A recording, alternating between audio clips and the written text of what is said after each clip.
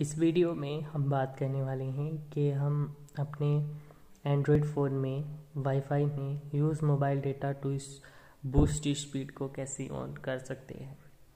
तो अगर आप जानना चाहते हैं तो वीडियो को आप पूरा ज़रूर देखिएगा और ये करता क्या है, ये भी आपको बताऊँगा।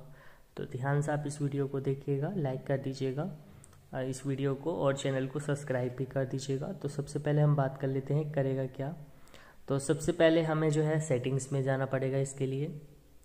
और सेटिंग्स में जाने के बाद हमें यहाँ पर वाईफाई में जाना पड़ेगा। तो वाईफाई में भी चलते हैं हम। और वाईफाई में जाने के बाद आपको यहाँ पर वाईफाई असिस्टेंट में जाना पड़ेगा। तो वाईफाई असिस्टेंट में भी चलते हैं हम।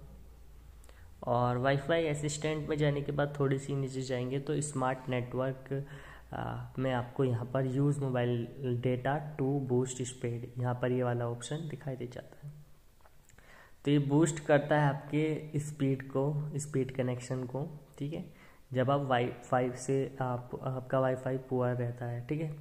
मतलब कि आपका मोबाइल डेटा यहाँ पर स्पीड बूस्ट करेगा और आपके कनेक्शन के साथ, ठीक है? तो इसको जैसे ही आप ऑन करेंगे तो यहाँ पर ये स्टार्ट हो जाएगा और इसकी कुछ कंडीशंस वगैरह आपको दिख जाएगी कस्टम ऐप्स या फिर रिकमेंडेड ऐप्स वो आप यहाँ पर सिलेक्ट कर सकते हैं। कस्टम ऐप पर आप लगाते हैं तो यहाँ पर अकॉर्डिंग जो होगा वाईफाई के या फिर आपके बहुत सारी जो ऐप होंगी, वो यहाँ पर सिलेक्टेड होने के लिए स्टार्ट हो जाएँगी।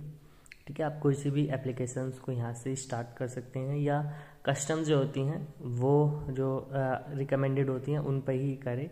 और यहाँ पर एक स्पीड मोड जो होता है स्पीड बूस्ट मोस्ट यहाँ पर फुल कर दीजिए या फिर यहाँ पर ये ऑटोमेटिकली रहने दीजिए।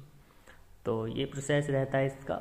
अगर यहाँ पर आपको वीडियो अच्छी लगी हो तो लाइक कर दीजिएगा और चैनल को सब्सक्राइब भी कर दीजिएगा।